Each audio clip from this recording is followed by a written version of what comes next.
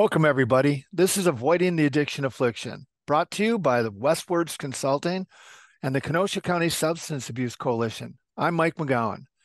Today, I'm pleased to have back as our guest Guida Brown. Guida is a community relations consultant with United States Drug Testing Laboratories. She is also an adjunct faculty member with Concordia University, Wisconsin, a writer, and a board member of the Substance Abuse Council. As the current year comes to a close, we wanted to look back and look ahead at where we are as a culture with substance use disorders and mental illness. Welcome back, Guida. Thanks for having me, Mike. Well, it's always fun to talk with you. I don't have to say much when I talk to you, so I love that part, right? Okay, we're coming out of a couple of years, right? Where the studies regarding substance abuse and mental illness aren't very good, right? They're not very good at all. Our our substance use disorder rates have skyrocketed. We haven't come back from COVID. And I talk all the time. I can't imagine what the reports are going to be in like nine years about how damaging COVID was to us societally. The rates have skyrocketed. They've skyrocketed for women, they've skyrocketed, they've just young people. Well, yeah. we we live in Wisconsin for those of you who are listening in other parts of the world. And you recently wrote a blog article titled Number One Isn't Always a Good Thing. Talk about that. Yeah, we're number one in uh, underage. Well, and again, it, it it's going to depend on what stats you're looking at on any given day, but we're always in the top five. So we're number one usually in underage drinking. We're on number one in uh, impaired drinking and driving. We're number impaired driving. We're number one in um, pregnant women drinking, and it's stunning. It's just stunning. We we have this whole idea that everyone gets an OWI. You know, everyone gets one. no, no, you know, most people don't. You know, we we talk about this with kids, right, Mike? About how the perception for kids very often is, well, everybody's drinking, right? And and the truth is, no, they're not. They're really not. And so, but in Wisconsin, especially, I think it's sort of in our it's in our psyche, it's in our air that everyone does this and so if i don't do it i'm i'm a freak and yeah the point of it was we we don't need to be number one we don't need to be number one in all of these well and yeah and one of the things you said in your blog article is women's excessive drinking yeah. um yeah.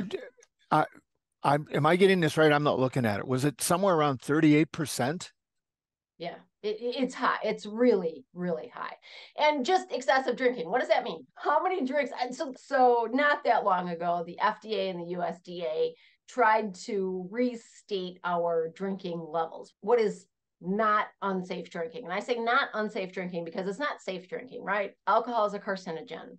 It doesn't matter how much you drink. If you're taking a carcinogen, it is leading to cancer. Not, you know, not necessarily you're going to get cancer from that, but it's leading to cancer. So there's no such thing as safe drinking, but not unsafe drinking. So the uh, study was done and the feds tried to roll it back, but they got to the level of it's a half a drink uh, a day for a woman and they couldn't figure out how to restate that. So they just said, all right, we'll leave it at a drink. One drink a day for a woman, two drinks a day for a man, no more than seven drinks a week for a woman and 14 drinks a week for a man. Those can't be banked, right? You can't drink on Saturday and Sunday and ha- split that seven or that 14 and say, oh, I'm, I'm good. You can only have one in a day. So people don't know that, right? People don't have any idea that that's what an appropriate drinking level is. You can't have two drinks with dinner. You can't have a aperitif what's an aperitif after dinner? Uh, you can't have it you know you can't have a cocktail and then have your wine and then have an aperitif. That, that those are three drinks. Or you can't have a long island because that's at least four shots. That's so it's it's one drink and a drink is properly measured a glass of wine five ounces depending upon the alcohol level 12 ounce standard beer not your not your high level ipas now um, a shot of liquor that is exactly measured and exactly the right amount of, of alcohol in it, that's one drink. And we don't get that. We absolutely don't get that. I talked to somebody and I just, I just, this always illustrates to me how poorly we understand the concept of not over drinking. She is a nutritionist. Mm. And she said to me, I don't drink often, but when I do, I have more than one drink. Is that okay? And I said, I don't eat dessert often, but when I do, I have more than one. Is that okay? oh it just i'm like how do you how do you reconcile it now we all make calculated risks i'm not i will eat more than one dessert in a sitting right i'm not saying you can't drink shouldn't you just have to know what the risks are. That's it. Know what the risks are and know what the proper level is. And that is where we are just so sadly unaware. Well, you you started this by talking about COVID and you know uh, tagging that on, you know, when you have 38% or 4 out of 10 adult women who are excessively, are excessively drinking, drinking. and there and we see the the rise through COVID. Is that because we just have no other coping mechanisms?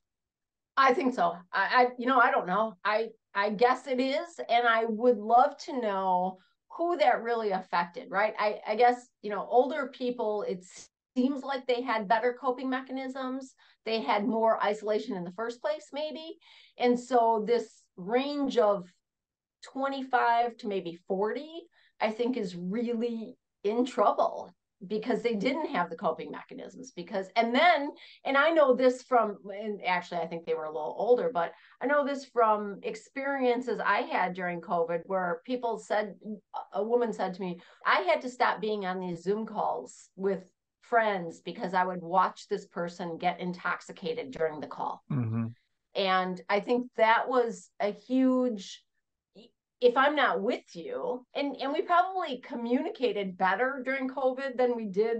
You know, we, some of us are really bad friends, and so we made a really concerted effort because you couldn't leave your house. So at least we'll have a call every week or every month, and we probably communicated better in that respect, but not that that one on one. And so it became very very isolating. And then I can do, I, have a friend who's a therapist who talks about we lived in our preferences we lived in our preferences for two years. I will say we're still living in our preferences. And I mm-hmm. love that phrase because when I say to somebody, hey, you might be drinking too much, it's like, what?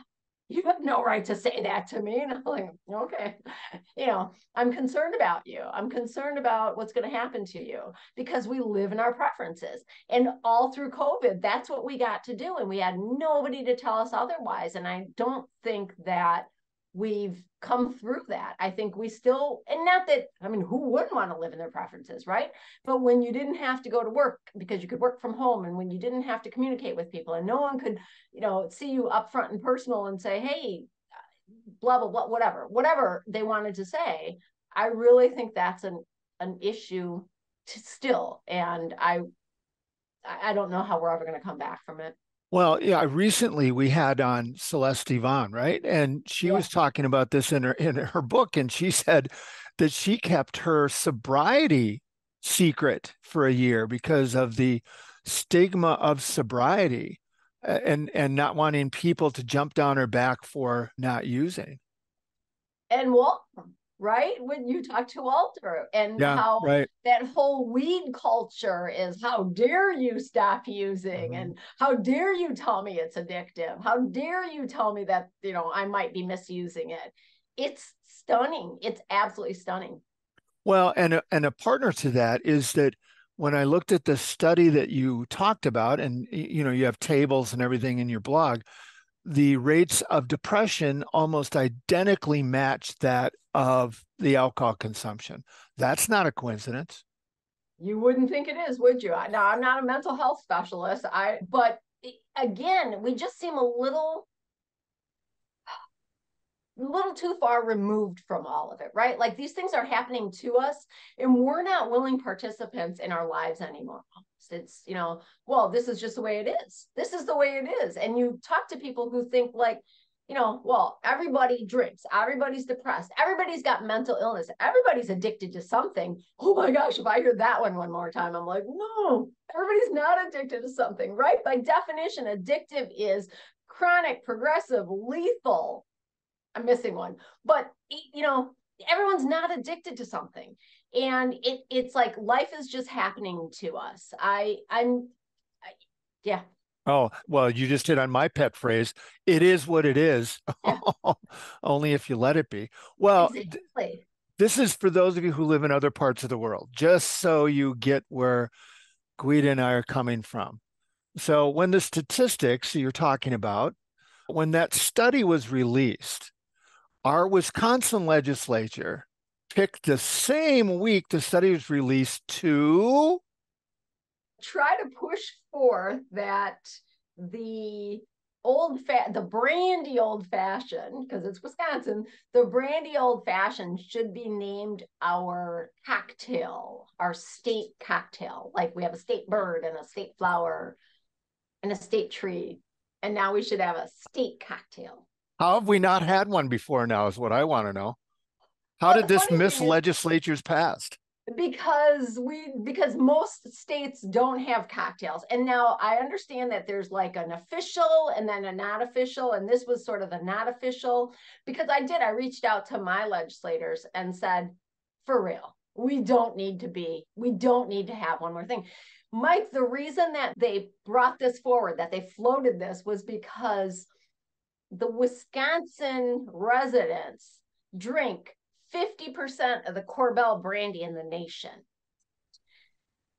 I don't think we should be patting ourselves on the back for that, right? Wow. I know that, and, and I used to be a, a waitress, I used to be a server. And so I worked at a hotel. And I never, I don't think I've ever had a brandy old fashioned or a whiskey old fashioned. I don't think I've ever had an old fashioned, but I do remember having to serve them. People say I'd like an old fashioned, and I would say, "Do you want brandy or whiskey?" And if they weren't from Wisconsin, they'd be like, "What? It means not brandy old fashioned." I'm like, I, I don't know. Yeah. But, People who say they go out of state tell me that they have to tell the bartender how to make them. To make it right. Well, and then when you have a brandy old fashioned, I don't think this is the same with a whiskey. You have to, is it you want sweet or sour?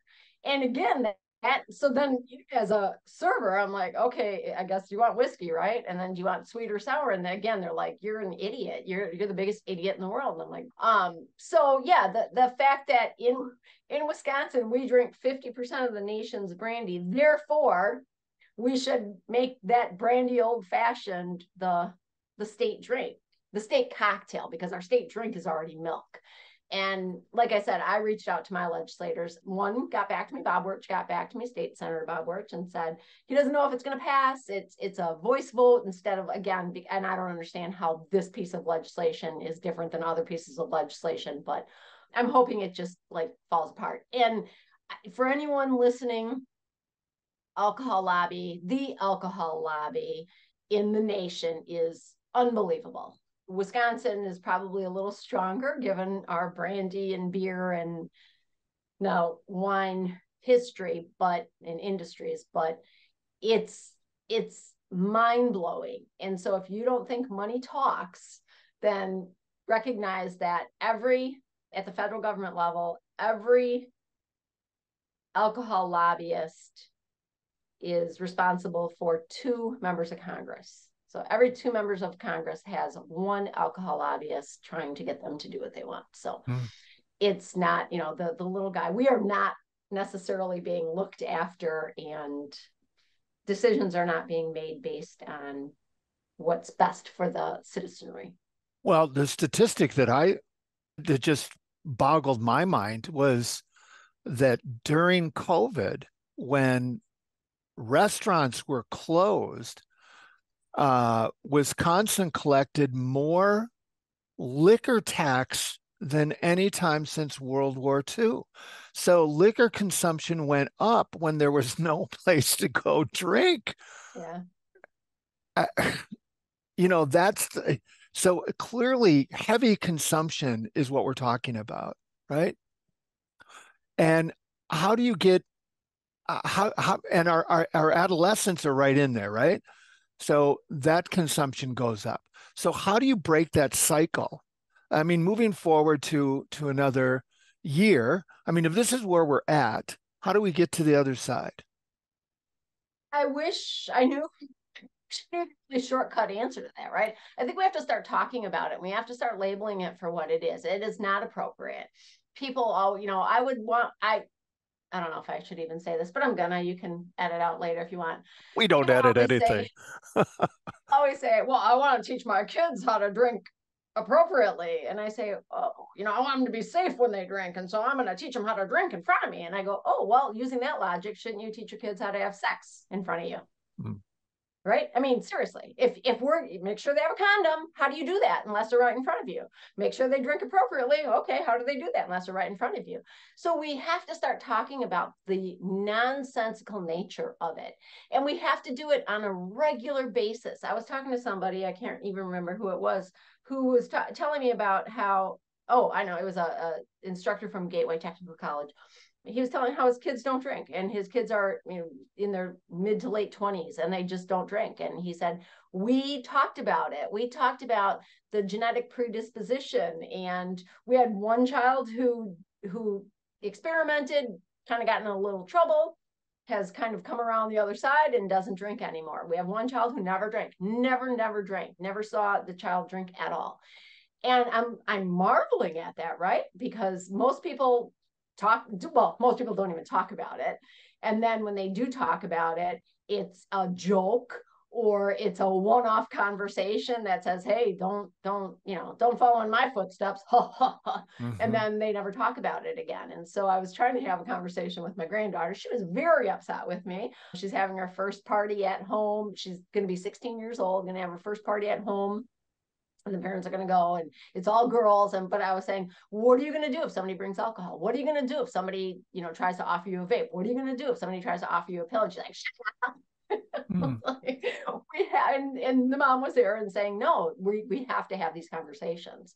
And i said you know it's it you think it's not going to happen but eventually it is going to happen to you. I don't care how nice your friends are eventually it's going to happen and we need to start talking about that. We need to start labeling it for what it is mike. I you know we talk so much about stigma and how stigma is negative and i you know obviously it's it is damaging a lot of people but how we've backed off the field is backed off of saying the right words to make it clear that you know addiction is a disease. Mm-hmm. i i had this conversation with um, george koob the head of the NIAAA, Dr. Koob, and evidently I wasn't supposed to talk to him. but you don't know what you don't know. So I was at a conference and we were, he did a panel discussion. He facilitated, or he's part of a panel discussion, and it was about using the term pre-addiction. And I went up afterwards and I said, Dr. Koob, hi, when when do we get to use the word addiction? And he said, Well, I'm not really, you know, I don't, I'm not that concerned about language or you know the, the, the phrases. And i was like well okay here's here's my thing. When you have pre-diabetes and it's left untreated you get diabetes. Mm-hmm. when you have pre-cancer and it's left untreated you get cancer. When you have pre-addiction and it's left untreated you don't get a substance use disorder right? You get addiction and the problem, I think, is we are soft shoeing everything. We're we're whitewashing all of our words so as not to stigmatize, and instead we're damaging more and more people by not saying this is what you've got. You Mike, I've heard you talk about it. Like tell somebody mm-hmm. they've got a substance use disorder. Yeah, but am I addicted? You yeah, have a substance right. use disorder. Well, yeah, but I don't have an addiction, right? I mean, so we're we're doing a terrible job helping people get better and helping people recognize they don't want to get on that path. And, you know, I don't know. I talk about it, talk about it, talk about it. Well, and this, what's dominated my entire professional life is how early it starts. And mm-hmm. there's so many branches of this tree that when you begin to use at an early age, almost every part of your life is affected physiologically, socially, emotionally, financially. You know, when you're drinking and using between certain ages, you you put yourself behind the eight ball. Not not that you can't catch back up at some point, but man, you got to work really hard. And some people just give up, and we don't even measure that stuff, Guida. We don't measure the number of people who just go, "I quit." we measure the people who quit looking for work, but we don't measure the people who just quit continuing to grow. So do you remember I we used to say that one in four people mm-hmm. is affected by somebody else's substance use disorder. And I always uh, was amazed when I worked in the field, specifically at the Hope Council on Alcohol and Other Drug Abuse. We'd go to these fairs and we'd be out and people around the table and be like, oh, I don't, I don't know anybody who's got a substance use disorder. And I was like, well, that's weird because no one else in this room does either. And I guess I'm bringing that stat way down. I saw something, I resaw it yesterday. Two thirds of the population feel that they've been affected by somebody else's substance use. I'm not surprised. Not either, but it's a huge change since even you know the 1990s when mm-hmm. when I first started in this field, and I'm thinking we've done something horribly wrong. We're going the exact opposite direction of what we want to go. And like you said, I just wrote another blog about how statistics lie. We have no idea. We have no idea about any of this. They're they're you know we at do you do you drink? Did you quit drinking? Do you have a substance use disorder? We don't, we don't ask the right questions, and then where do you ask those questions, and then how do you ask those questions, and then when you ask those questions, is anyone really paying attention to the answer? How many of us go to the doctor, fill out the paperwork, it gets shoved in a drawer because nobody's comfortable having the conversation? I, it's we're just doing a really bad job of addressing the problems. You know, I think one of the, I, I think the keys are out there though, don't you? Because we made incredible headway with cigarette smoking. And, and now we're having to do the same thing around vaping. I mean, I can't tell you every school I go into, in addition to whatever else you want me to talk about, they go, and could you please talk about vaping? Because the uh, schools I was in last week, fifth, sixth graders, they're catching with vape. And the chemicals in there, they, well, first of all, they have no idea what they're taking into their system, right? At an age where you should be growing and developing, they're putting toxins into their body. Who knows? You know, I think uh, uh, we're we're five to ten years away from going. Holy crud! Look at the damage this has done to a whole population. So I think we have to come at it the same way we did cigarette smoking. I absolutely agree. I just don't think that we have the legislative intestinal mm. fortitude to do that. I, I don't know. I mean, I always tell people, I believe that if we knew how damaging alcohol is, before it was ever legalized, we it never would have been legalized. So pre 1920 prohibition, it never would have been legalized. I think that weed would have been legalized way before alcohol just because of the physical damage that alcohol does to us but I, I don't think that now when that cat's out of the bag we have again we have you know one lobbyist to every two legislators. I don't think that they're real inclined to say yeah we need to roll back. Our in wisconsin our alcohol tax hasn't gone up since I can't, I can't even say it without laughing 1969 1969 we haven't raised our alcohol tax. I mean so what how did we get rid of cigarettes for young people? We raised mm-hmm. taxes on them right? Mm-hmm. we taxed them we taxed them we taxed them we know what we need to do. It's just been impossible. And i don't understand why.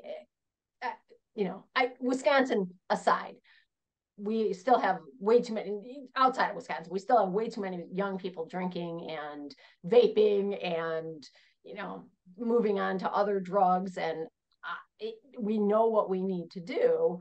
We just aren't willing to do it, I guess. Well, we we do live in Wisconsin, Guida, and and we used to have a quarterback here who's now out in New York, who, when asked one time that the season was going to heck in a handbasket, said famously R E L A X, which I can only imagine you've heard about a million times in your life when you get passionate about something. So you know, what do you say to folks who tell you, oh, it's not that big a deal? Yeah, I, that's right about when my head pops off. and you know, uh, some of those folks are like family members who are saying, "I know about that. Don't talk about that. That's not appropriate to talk about." I my one of my sisters says, "You don't talk about Uncle Joe's drinking at the Christmas table," and I'm like, "Amen. You don't." But you don't ignore it either right you don't you don't use the holidays to bring up all the bad, they have your airing of grievances. That's but, Festivus. yeah, yeah. But we have again, we have to treat it like it's the problem it is, the disorder it is, the disease it is. And so I like to say, Mike, yeah, I'm never going to relax. I like to say I can sleep at night. Mm. I can sleep at night. When I address things, I, and I think I'm very appropriate, and I'm sure that other people don't think I'm appropriate, but I will say that loved ones who I've had to address things with when they want to address things, they come back to me, right? Yes. They don't mm-hmm. they don't find somebody else because I was so horrible to them. So I don't know, I think I'm doing something right. And I think I've helped a fair number of people in their own lives, either through their own problems or through their loved ones' problems to figure out how to get through this and over this. But we again, we have to talk about it. It it I liken it to, I'm sure I've told you the story a million times. There was a news anchor, a local anchor in Florida, and she was on television. She did her news, and a viewer wrote in and said, Hey, I noticed you have a lump on your neck.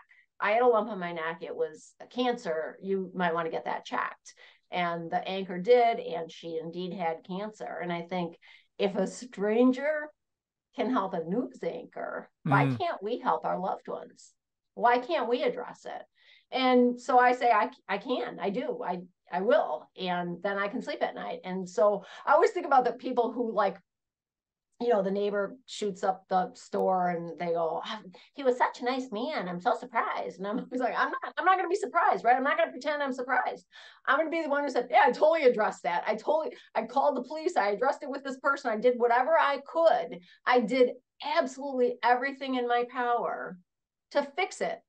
And then I had to not be, you know, I had to not take ownership of that. And so that's what I do. I, I will never relax. I will never relax. Well, maybe that's the way we end up making a difference, right? One at a time. Yeah. You know, like starfish, right? This the mm-hmm. little kid's walking down right, the beach right. and he's picking up starfish and the guy comes along and says, Why are you doing that? You're not you know, look at all these starfish. They're all going to die. You can't help them all. And he throws it one back in. He says, made a difference for that one. And yeah. I think about that time. I, I love that story because, yeah, I come from the nonprofit world where a million years ago, we used to say, well, if I make a difference for one person, then that, you know, and then the funder said, that's a lot of BS. You know, you got to make a difference for more than one person. And you absolutely do. And we know that prevention is uncountable. We have no idea how to prove that we did a good job on prevention. But when you come back and think, well, I made a difference for that one, or even, you know what, you make these little tiny increments and it, one by one or group by group or family by family, we have to keep talking about it and giving people resources and figuring it out. I, I, you know, the resources are available. That's another huge button for me. There's just nowhere for help. There uh, absolutely is. Guida, look at look at what we've done here. You know, in just this little corner of the podcast world, right? Is you know we started this with four, and now we're at like 160 of them. And I've talked to all of these magnificent people who, many of whom went through unbelievable tragedy and who are making an incredible difference all by themselves in the lives of others who they didn't even know before they went through it. And then those people in turn, blah, blah, blah, right? So it is the way to make a difference, I think. Yeah. Well, listen, hey, thanks for doing this again with me. We we we always need to catch up every now and then. It's kind of fun. For those of you listening, uh, you already know this, but the link to Guida's blog that I referenced with the study attached to it is attached to the podcast. So look it up. She's a fantastic writer and follow her blog. This is just one of the articles that I referenced today. I hope that all of you have a wonderful 2024 uh, and continue to listen in with us. And until you are with us the next time, stay safe and go about making a difference to somebody else.